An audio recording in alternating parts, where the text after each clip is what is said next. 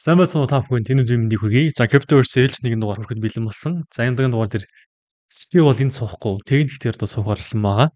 За тэгээд өнгөрсөн 7 хоногт мэдээж онцлог одоо криптод нөлөөлөх хяншин нөлөөлөх зүйл бодлоо зөндөө болсон. За гэхдээ энэс илүүтэйгээр үед нэлээд ойрлоодсан airdrop дээр юу болж байна гэдэг ийм судлааг та бүхэн танилцаад энэ аягүй сонирхолтой мэдээлэл санагдсан миний хувьд. За өнгөрсөн одоо 18 сар буюу жил хагасын хугацаанд а 30 одоо ингээд сум топ 30 гэдэг одоо нэг airdrop хийсэн төслүүдийг судалгаа хийж үзэхэд ерөнхийдөө ингээд airdrop одоо ингээд авч байгаа хүмүүс бол угаас тийм болгон ямар сонирхолгүй байгаа гэдэг нь ихтэй байна. За тэгээд airdrop ингээд авч байгаа хүмүүсийн зүгээр хамгийн одоо энэ хөвс стратеги гэх юм бол аваад яг ингээд эцсийн одоо бирж дээр хөтрөн зарсан угаас ингээд хамгийн ашигтай байх өдөр харин хадгалсан өдөр болгоныхоо хэмжээгээр ингээд одоо зэг болох боломжоо ч юм уу алдаад байна гэдэг зүйл ингээд харагдаж байгаа юм байна.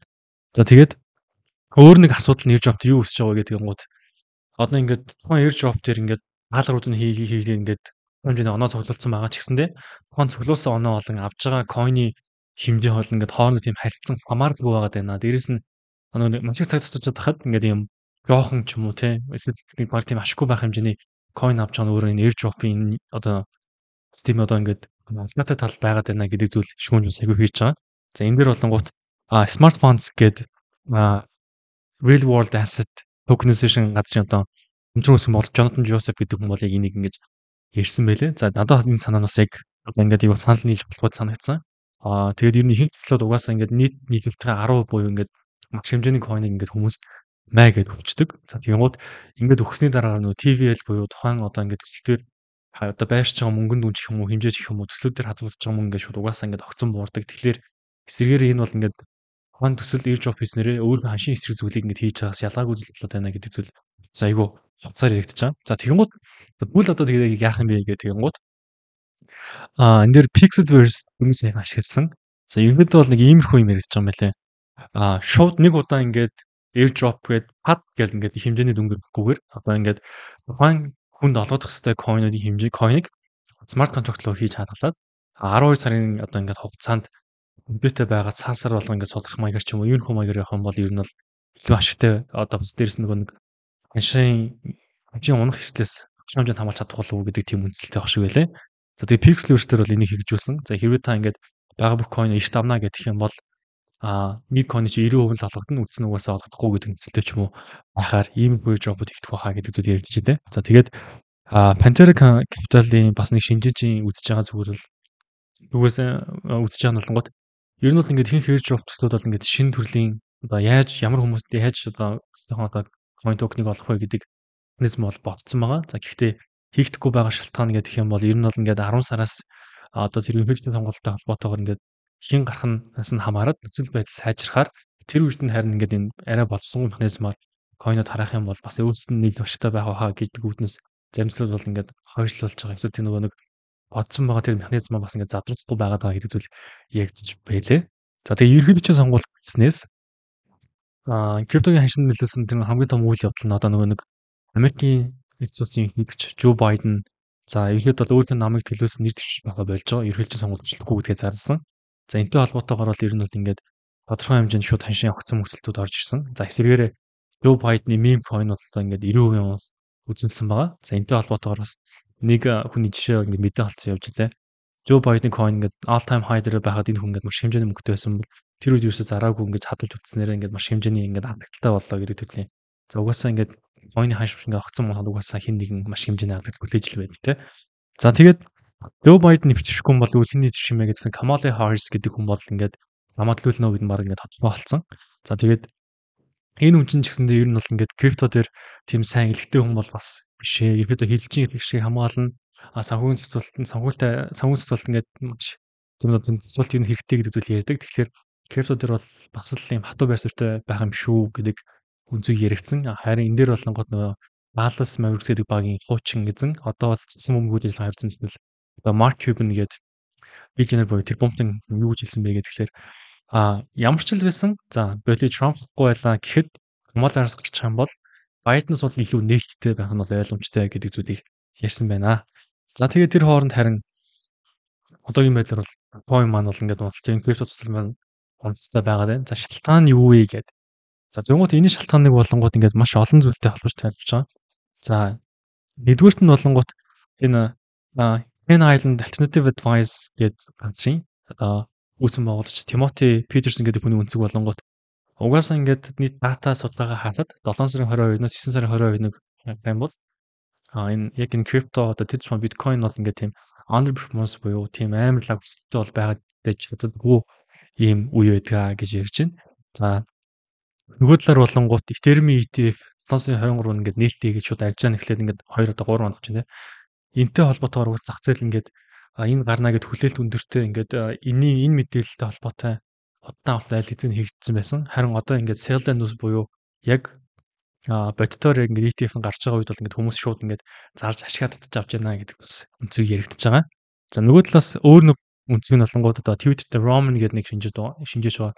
Энэ хүн юу гэж үтсэн бэ гэхээр а Trump тэр одоо нөгөө хийсэн assassination attempt буюу одоо нэг тийм нэг Trump-ыг Трампын үеийн тэр нөгөө ерөнхий сонгуулийн үе баталгааны үеэр болсон тэр буудалцаанаас холбоотойгоор аа ингээд пеншол ингээд угаасаа зохиомлоо ингээд өгсөн мөсцсөн байсан. Зүгээр тэрний одоо correction буюу залруулах хөдөлгөөн л орж иж байна гэдэг зүйл хэрэгцсэн байна. За тэгэхээр хэрвээ а эхний одоо тэр нөгөө нөхөн шинжиж ярьсан үнцэг үнэ гэж бодох юм бол угаасаа 9 сар хүртэл тодорхой хэмжээнд а long algebra бол жоон боломжтой байх хэрэгтэй байх. Тэгээд угаасаа 10 сарын чинь бол нэг October гэдэг чинь сүл криптодгээр ингээд October гэдэг өөрчилждэг шүү дээ. За тэгээд а Ethereum дээр нөгөө ETF ярьж эхэлсэн гэдэг гисэн чинь энэ дээр за эхний өдөр бол ингээд нийтдээ бол цэвэр мөнгө өсөлт нь бол 107 сая доллар орж ирсэн. За хоёрдугаар өдрийн цэвэр мөнгө өсөлт нь бол хасар 113 сая доллар байсан. За энэ юутай холбоотой вэ гэвэл Grayscale-ийн Trust буюу одоо хувийн ETF гэх юм уу та олон нийт нээлттэй ETF-ээр угаас зөндөө хүмүүс авсан байсан. Тэр хүмүүс авах гээд нөгөө ETF-ийн хавцаануудыг зарж байгаатай холбоотойгоор ер нь бол ингээд мөнгө өсөлт нь бол хоёр дахь өдрөөсөө дийлж эхэлжээ. За тэгээд энэ хооронд өөр нэг сонирхолтой мэдээлэл гарсан. Franklin Templeton гэдэг газар болонгууд за биткойн Ethereum ETF бол ингээд гарчлаа. Энэ дараагийн ETF бол крипто төсөл Solana байх болно. Тэгээд Solana угаасаа нөгөө major adoption буюу олон нийтээр ингээд өргөн ерөөсөө сонт хүмүүс бүгд ингээд мэддэг, ашигладаг. Тэгэхээр Solana дээр бол ингээд нэлийн ETF гарах магадaltaй гэдэг зүйл мэдгэлийг хийжлээ. За тэгээд хамгийн сонирхолтой нь Solana-ос өнгөрсөн 7 хоногт хамгийн ихэвтэй байсан одоо биш Solana-гийн сүлжэн дээр одоо суурьсан мем койнууд ингээд хамгийн идэвхтэй өсөлттэй байлаа. За тэгээд Solana-гийн өөрийнх нь ингээд сүлжээний хэмжээ бас ингээд нэмэгдсэн байгаад байгаа. Тэгэхээр магадгүй а энэ ETF нь үнэхээр хавахгүй байсан ч гэсэндээ Solana-гийн ингээд итгэх нэмж байна гэдэг чинь энэ дээр а суурьсан төслүүд магадтай байж магадгүй. Гэтэ яг мем койнуудаар бол хэлж мэдэхгүй байна. За ингээд миний хөдөл мэдээ мэдээлэл энэ үгээд дуусч байна. За сүүлдээ сонирхох төсөл гэх юм бол нөгөө нэг Binance Lab Pluto Vision Labs хөрөнгө оруулаа гэдэг жисэн. За энэ Pluto Vision гэдэг labs нь болонгот Catizen гэдэг нэг тийм тоглоом филамент төсөл байгаа. За энэ дээр зарим хүмүүс нийлэлгүй хугацаанд оноо цуглуулсан байгаа бах, ашигласан байгаа бах. За хэрвээ та мэдгүй явж одоо одоо мэдчихэж байгаа бол бас сонирхоод үзээрэй. Аа хоцроогүй байж магадгүй шүү дээ. За тэгээд аа миний хүрэх мэдээ мэдээлэл бол ингээд дуусж байна. За та манай доор линкэн дээр байрлах аа XM Binance болон тэрийг ажиллаарай. За одоо ингээд technical analysis бололгоо шууд орцгоё. Сайн юу цаана. За тэгэхээр хэдүүлээ. Рүү 7 хоногийн таамаг болон за энэ 7 хоногт юу болвоо гэдэг талаар ярилцъя.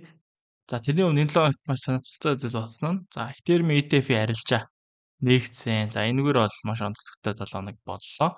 За тэгэхээр хэдүүлэнд нь урдны түүх юу байгаа вэ гэхээр Bitcoin ETF арилжаалагдсан. Тэгэхээр тэр өдрүүдийг санацгаая. За тэгэхээр Bitcoin маань юу болж байсан бэ гэхээр за иймэрхүү нь үүсэж агаад ерөнхийдөө бол ETF-ийн мэдээ батлагдлаа гэдэг мэдээгээр бол батлагдаад батлагдсан гэсэн мэдээгээр ерөнхийдөө осож агаад яг мэдэн дээр нь ерөнхийдөө хүмүүс зарлалтын хөдөлгөөн бол явсан. За тэгэхээр ерөнхийдөө бол яг хамгийн дээд цагаас доод цаг хүртэл харах юм бол за биткойн ETF батлагдаад арилжаалагдаад явах хооронд за дунджаар 13 өдрийн турш 21 орчим хувийн уналтыг үзүүлсэн байгаа даа. Тэгэхээр ерөнхийдөө бол sell news буюу за мэдээгээр нь бол зарчхаа гэсэн хүмүүс бол дунджаар бас хэмжээний уналтыг буюу 21 орчим уналтыг унгаагаад за түүний дараагаар бол за биткойн доор мөнгө өрсөлд бол төдий чимээгээ чинээгээр нэмэгдэж за түүнээс хойш 90 гаруй хувийн орчим хувийн өсөлтийг бол үзүүлсэн байдаг байгаа. За яг энэ түүхтэр одоо давтагдах уу гэдэг юм байр суурь. За тэгэхээр энийг үйдсэн сан чи дараа нь Ethereum дээр явах та энийг илүү хошуулад хооронд нь холбоод ярьчаа гэсэн.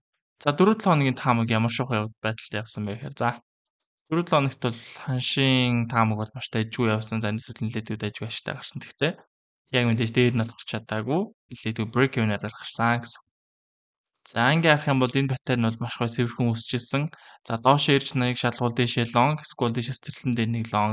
За scroll аад харж байгаа long гэж таамаг гаргасан. За ихэд цэцэрлэн дээрээс нь long ороод ашигтай яваад, ашигтай яваад энэ батарей нэг ингэж харж ирсэн.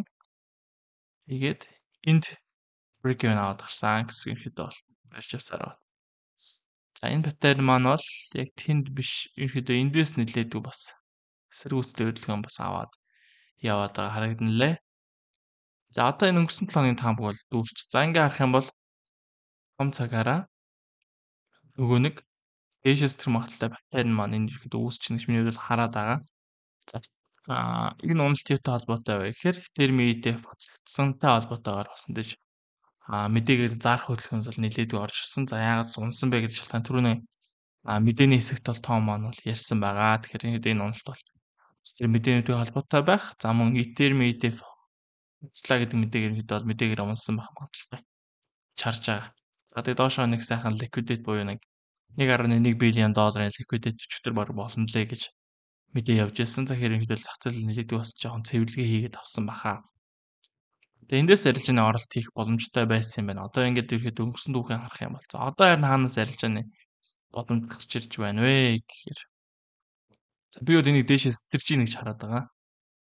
Энд тааз, тааз, тааз. За энэ сэтэрэлттэй.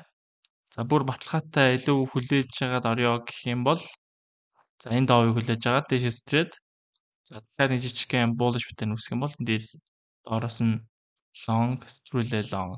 За иймэрхүү байдлаар арилжааны оролт хийх бодолтой бол байна. Тэгэхээр эхнийг бол нэлээд ажиллаж байна. За эндээс ирэхэд long арилж аваар нээсэн ч яах вэ? Нэг risk entry маягтай хийгээд stop loss-ыг зүгээр энэний доор ч юм уу энэний доор байршуулаад дээшээ long алж байна. Ороход бол дэжгүүл харагдаж байна. За ихэд бол биткойн дээр бол ерхэд бол стил дээшээ харсаар байгаа. Ерхэд бол доош харахгүй байгаа. Аль боломж очрээд байвал дээшээ long арилж хийж байгаа гэж байна. За Ethereum-ийн хувьд юу болсон бэ гэхээр за бас л яг түрүүний адилхан те биткойн дээр Иймэрхүү байршилтай нь үүсэж байгаа Ethereum ETF нь батлагдсан доош унсан. За Ethereum дээр мөн адил. Маш цэвэрхэн байршилтай нь үүсчихсэн. За энийг бол хэдүүлээ бол ингэж харж байсан те. Дотроо бол иймэрхүү олон батарейнууд бол байгаа юм байна гэж харж ирсэн. За энэ манд тэгж явсаар байгаад ерөөдөө том батарейнд илүүтэйгээр нөлөөтэйгээр явж байгаад уушаас ирсэн сэтгэлдэн дээр нь бол зүйл хийж байгаад бол чадаагүй. Яагаад гэвэл Ethereum ETF тэр айхтар ерөнхийдөө уналд орж ирэхгүй болов гэсэн таамаг байсан боловч ерөнхийдөө бас мэдээгээр бол яриад унсан да. За тэгэхээр одоо бол нөгөө нэг биткойны 20 орчим хувийн уналт байсан бол одоо дээрэн дээр 13 орчим хувийн уналтыг үзүүлсэн байна. За бүр том цагаар нарыг тий. За бүр том цагаар нарах юм бол Ethereum дээр ийм том уулж баттай байгаа. Доороос орчихсан импульс хөдөлгөөнтэй, correction хөдөлгөөнтэй. Тиймээс магадгүй дахиад ийм том хөдөлгөөний ийм бүсүүдийн орж ирэх юм бол за all time high нь ихэд Twitter дээр all time high-ыг бол за нэг 5300 орчим хүрнэ гэж таамаг нэлээд их яваад байсан. За тэгэхээр 5300 гэсэн дүнг яаж гаргаж ирж байгаа юм болоо гэж шинжилгээ хийх юм бол яг урд гарч ирсэн импульс хөдөлгөөнийг correction орж иж, дахиад импульс хөдөлгөөн орж ирэх юм бол нэг 5300 руу all time high хийх боломжтой байна гэсэн юм потенциал дээр харагдаад байгаа юм болов уу нэг юм шинжилгээ хийж үзсэн. За ийм хөдөлгөөн бол ороод ирвэл сайн байна. Мэдээж ийм хөдөлгөөн ороод ирэх юм бол за Ethereum маань сайхан өссөн мөн Ethereum layer 2-ыг маань дагаад тодорхой хэмжээний өсөлтөд үзүүлж байна. За миний нэг хүлээж байгаа хараад байгаа үнцг нь юу вэ гэхээр за биткойн дээр 20 орчим хувийн уналт үзүүлсэн шүү дээ. Тэгэхээр Ethereum дээр 20 орчим уналт үзүүлчих юм бол аа нэрх вэ гэхээр ханшман. За энэ шал, энэ шал, энэ шал, энэ шал дахиад энэ шал. А магадгүй дахиад өрөөд ирэх юм бол энэ дээр маш гоё зэг болж байгаа. Тэгэхээр би энэ 2860 гэсэн дүнг бол хэрвээ ирэх юм бол би эндээс маш гоё лонг арилжаа. Арилжаанд орё гэсэн юм төлөвлөгөө бол байна. Гэхдээ энэ маань дэш хөлөхгүйгээр явчих магадгүй шүү. Тэгэхээр биткойн дээр хэр өндөр өсөлтүүд бас маш урд орж иржсэн харж байгаа тийм. Ингээ харуул эн чинь 4 цагийн чарт энэ 15 минут дээр бол замраагүй унж байгаа. Гэхдээ маш хурдан сэргэлт аваад за төсөө тэр шигтээ ингээд ерөөдөө бол төсөөд явцгаацсан учраас Ethereum дээр бас ерөөдөө иймэрхүү зүйл тогтол ажиглагдах болов тэгэхээр ерөөдөө бол илүү бага цагаар буюу 15 минут руу орж жагаад бага цаг дээр ерөөдөө бол дээр нь дүүсэх юм бол дэшигээ лог байлж за магадгүй энд иймэрхүү дээр нь үүсчих юм л те. Жаа. Ингээс тэрх юм бас сэтгэлдүүдийн entry хийх боломж байна. За илүү futures арилжааг жоохон stop loss-оо цохиулаад ерөөдөө арилжаа гэхээр нэг цохиулчаад байдаг бол аа спотоор илүү худалдаж аваарай гэж зөвлөмөр байна. Спотоор худалдаж аваад спотоор авахын давуу тал чинь амар штэ. Зарсан үед л ерөөдөө олж алдагдлаа үлэн. За зарсан үед ашиг авнаа гэж бодож байна. Эндээс авч болно. Хаан шунах юм бол дахиад эндээс авч болно. Дахиад хаан шунах юм бол эндээс авч болно. Тэгэх юм бол энэ худалдаа авсан дүн чинь дунджаараа энд ороод. Тэгэхээр stable position хийсээд авах бүрэн боломжтой байдаг учраас futures арилжааг жоох эрсдэлтэй байна гэж үзэх юм бол спотоор илүү худалдаж аваад бас нэг жоохон энэ он дуустал ч юм уу те 10 сар 11 сарыг бол нэлээдгүй буулж байна гэсэн мэдээ мэдээл явж байгаа учраас тэгж үүсэлттэй байх бол өгсөн таамаглал байна. За USDT dominance хувьд бол за том цагаараа юу болж байгааг бол бүгдийг мэдж авах. За мэдгүй бол түрүү лагийн дугаарыг үзчихээрэй. За энд ийм цэвэрхэн bearish дээр нь үүсэт байсан. За энд гоё ингэж үүсэж хагаад энд огцон өсөлт нь юутай холбоотой гэхээр нөгөө нэг ETF мэдээтэй хүмүүс а койна зараад хүмүүсийн wallet-д бичсэн за USDT T буюу stable coin гэж зөнхлөд байгаа учраас USDT dominance маань илүүтэйгээр өсөд гад ирсэн. За одоо л ерөөдөө буцаад энэ байранда бараг орж иж гинүү да. Чарч. За энийг дэше мэдээний нөлөөгөөр дэше fake out гараад байгаа. Тэгэхээр одоо хүлээж агаад энийг доошо сэтэрчих юм бол нөгөө хоёр дээрээ long арилжааны төлөвлөгөөг зураг авчиртана гэсэн. За энэ дээр ихэд миний хувьд сэргэлийг тавьчих. Яагаад доминанс харддаг гэх юм дэс нөө давхар баталгаа гэдэг үгнэсээ тий. Явлаа. Доошоос тэрх юм бол алерт дуурна. За энэ дээр ерөнхийдөө бол боломжууд харнаа гэсэн. За ерөнхийдөө энэ 7-ын дугаар дээр бол ингээд ETF-ийн мэдээ батлагдсан. Тэгэхээр аа мэдээж одоо Arkham гэдэг юу байгаа. А Twitter X байгаа. X-ээр Arkham бол ерөнхийдөө бол нөгөө хэдий хэр хэмжээний мөнгө хаашаа орж ийн, ETF хэр зарагдж ийн гэдэг мэдээ мэдээлэлд ордог. Тэгэхээр ерөнхийдөө Ethereum бол арилжаад нэлээдгүй сайн волюмтай байгаа. Тэгэхээр ерөнхийдөө бол өгдөг юм бол за нэг ерөнхийдөө бол яг иймэрхүү том хэмжээний өсөлт орж идэг юм ахэд энэний талбай дүүцхүүс хэмжээний өсөлт бол орж иж магадгүй гэсэн хүлээлт бол байна. За миний хувьд бол бүр солиотой таамаг гаргая гэж бол энэ үндс хөдөлгөөнийг бол хийшээ орж ирнэ. Хангацсан байгаа шүү дээ. Тэгэхэд бол нэлээдгүй буулш байгаа. Ерөнхийдөө бол доошоо харах нэг хайхтар бодлоо байхгүй. Одоо жишээ нь биткойны маш том ивент Америкт болж байгаа. За тэнд бас очин хичээрнэ. За бас панелистаар нь ерөнхийдөө Дональд Трамп, Майкл Сейлер гэх мэтчлэн томхон томчууд л очино.